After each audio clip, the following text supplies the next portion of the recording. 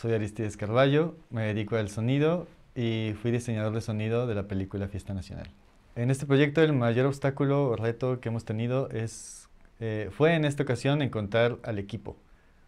Mm, hemos hecho varios proyectos, pero, pero cuando un proyecto es más grande se requiere un flujo de trabajo como mucho mejor establecido, este, como una metodología más hecha, ¿no?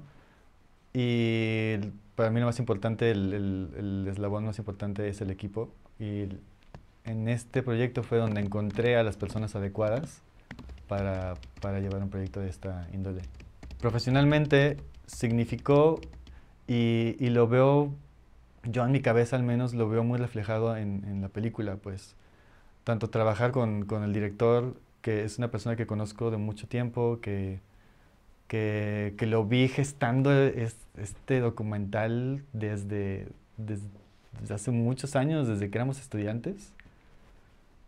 Y, y, verlo, lograrlo y, culminar esta, este proceso, pues, este ciclo. Y toda la gente que, que, que pasó por ahí, ¿no? O sea, es una historia larga.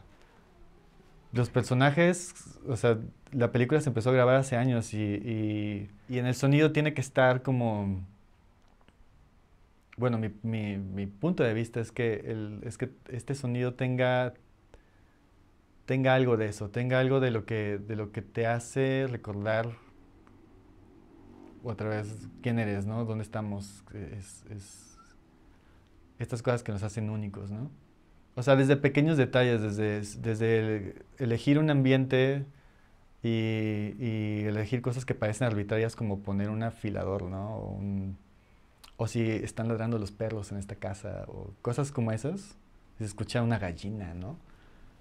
Son cosas que, que no están puestas nada más porque, se te ocurre ya, son cosas porque están ahí, porque quienes hemos estado en, en un lugar así, quienes conocemos este país, sabemos nos transporta así, nos transporta muy rápido a, estos lugares, ¿no? Es el lugar que estás buscando, ¿no? Si es que lo estás buscando. Entonces, sí, creo que esta película es muy valiosa para reconocerte, ¿no?